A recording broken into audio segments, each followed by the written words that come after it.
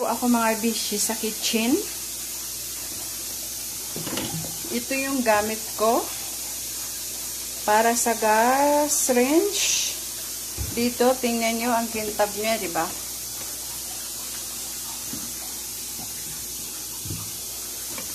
I-spray nyo lang ng ganon. Tapos, maglagay din kayo sa planggana ng ano, ng sabon. Basta ka steel wool. Tapos yun yung ipang ano nyo.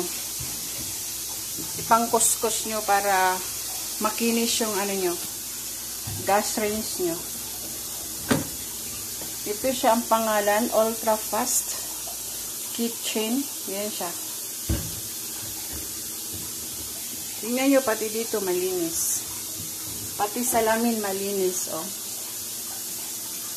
Natatanggal yung ano niya, yung mga mantika. Yan siya mga bishi. So, itong baba, itong salamin, nilagyan ko din.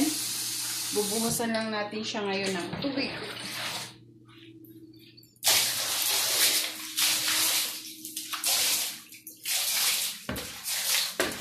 na ano ko na siya, nalinis ko na siya. So, buhusan natin siya ng tubig. Pati itong mga ano, pati itong mga cabinet, sinabunan ko na. Buhusan ko na lang ng tubig pagkatapos punasan.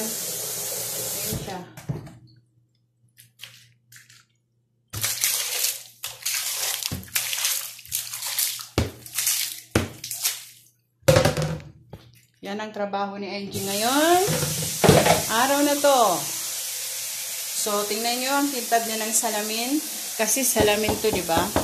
Yan siya, salamin.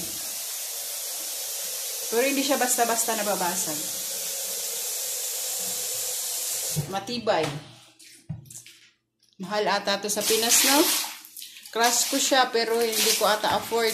Charot. hindi ko ata to kayang bilhin. So, yun. Pati mga drawer, eh, ka-drawer, pati mga cabinet, nilinis ko na. Yan sila. O, yun. Yan. O, tingnan nyo. Ang sipag ni Angie ngayong araw na to. So, yan. Ang trabaho ko ngayon. So, thanks for watching. So, mamaya mag-garden na naman ako. Yung garden, didiligan ko siya. Tapos, kasi nalinis ko na yung garden nung isang araw. So, didiligan ko na lang yung mga pananim doon. Yun. Kahit wala yung mga amo, kailangan din natin maglinis, di ba? Huwag tayong tulog ng tulog. Charot. So, yun. Thanks for watching and God bless. Have a nice day.